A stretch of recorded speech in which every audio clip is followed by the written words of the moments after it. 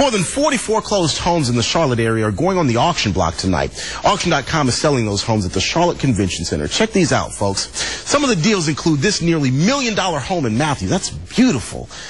The starting bid for this home, $319,000. There's also a home in East Charlotte, though, that's valued at $143,000. The opening bid for that, 15 grand. The auction starts at 630.